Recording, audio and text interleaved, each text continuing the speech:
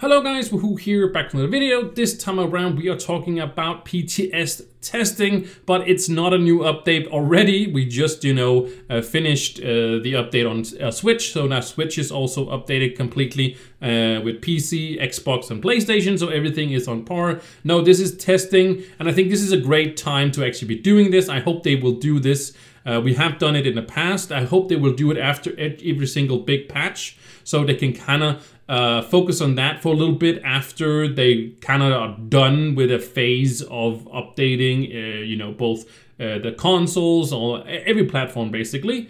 And then we can do a little bit of testing about the data and stuff like that. It's only for this weekend on from the 4th today as this video coming out and then until the uh, 7th as well. So it's going to be up for the weekend. I wish they would kind of give us a week's notice kind of in a way, but it's up now. So you should definitely, if you have a chance to go down and check some stuff. I love that they kind of tell you down here uh, which stuff they want us to be testing.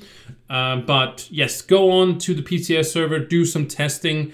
Uh, just by testing, they mean of just running around doing daily stuff, whatever. And hopefully that can be a step into the right direction about fixing some different uh, stuff with the game. I love that they're doing this and I hope they're to do it way more in the future as well. You know, every single, like if we have big update, they can kind of go back, kind of look at all the different things and kind of mimic all these things, uh, you know, that maybe uh, causes the game to have some rubber banding, lag, whatever it might be. Uh, also, maybe smaller things that create other things, whatever. They, they say what we are supposed to be testing down here, but I would just love to have this uh, be something after every single big update. When every uh, platform is completely updated, just take a little bit of time to uh, gather some uh, information. Uh, and I've said that on the, I think I, I, said it on the Discord, on the Trove Discord, the, the, official one, that I love the that we have to, or we can go and test this stuff out and improve Trove in that way as well. Not only having updates to test and stuff like that, but also like basic things could do some stuff with that, I hope. So yeah, basically that's what the whole thing is. Uh, let's just really run quickly past what all of these things is. They do want to do some general testing, try out various in-game activities, see if anything behaves as expected. Also really a lot about loading times, because there's loading times, just general loading times, uh, especially in, in, larger worlds. Uh, I don't know what a larger world is, but I assume that's just like where most people are, I guess. Also, they wanted to test club worlds, but that's also how the loading times is, any hiccups. Um, of course, this is not something you have to report on. It's just something that happens, you know, and they're gonna, you know, see the data as it goes. And then they also want us to test some market uh, marketing, some marketplace, uh, confirm that the marketplace operates as expected when we made some improvements to searching. So I really hope with this they improved to searching. I hope they made some improvements to the way you search for things because when you search for things on the marketplace, and I really hope that they were gonna fix this, is that when you put, you know, you place the mark uh, or the little check mark in stuff you haven't learned, uh, and you go into a category where uh, you you actually know you have stuff in there that you haven't learned, but there's so many things in there you haven't learned. So it's just going to search, say there is no uh, items in there.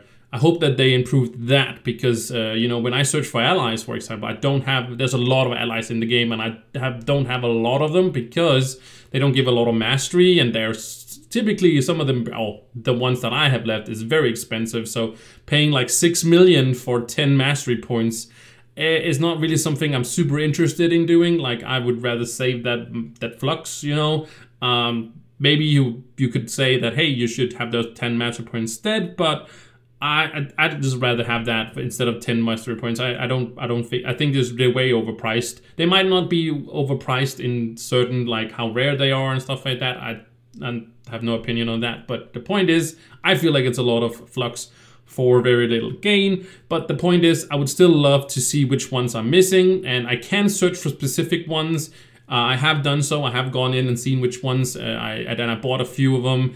Uh, that was not as expensive as I uh, thought they were gonna be, so I bought those.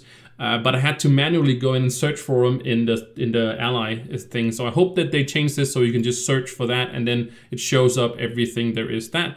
And then they want, they want to have a blast, you know, explore, build, fight, enjoy the game. And it's all the glory. So that's again just general testing in my opinion. As you can see right here, from the 4th of August to the 7th of August, we do have this testing here. And then they say what is in for you. And they're going to give you in the live, uh, you know, the live game, they are going to give us a, uh, you know, a one dev dream. I have also said on the Discord, I think this is a, this is amazing that we're getting a reward for it, but uh, and it's only like you don't have to do anything other than just go on the PTS server and then you get the uh, dev dream. I would assume it doesn't really say anything other than you have to be playing for you know. Um, uh, it does say every player who, who, participates in the test, so it should be instantly. Uh, but the point is, dev dream, yes, it's a we. I love the dev dreams. Uh, don't get me wrong, but I feel like still it's a little bit of a lower reward. I think it should be a little bit more. Uh, I did mention that in uh, in a previous video, in like for ideas for 2023, that we should get for the test server, and not only for this, but for test server in general. I think we should be rewarded for the time we spend playing. And uh, maybe there, you can say, well, you can just stay there AFK, and if it has to be online for an hour, people are just going to stand there AFK for an hour. Sure, I get that, but then you also have to be AFK for an hour, and then you know who's gonna you can't really abuse your maybe your, your pc for for that amount of time whatever but they could also do it something else that you have to defeat uh, 5,000 enemies, uh, you know, uh, for, uh, uh, in, yeah, 5,000 enemies, right? 5,000 enemies. Um, and then you get like some, some flux in the live servers or whatever it could be. Like there could be different challenges.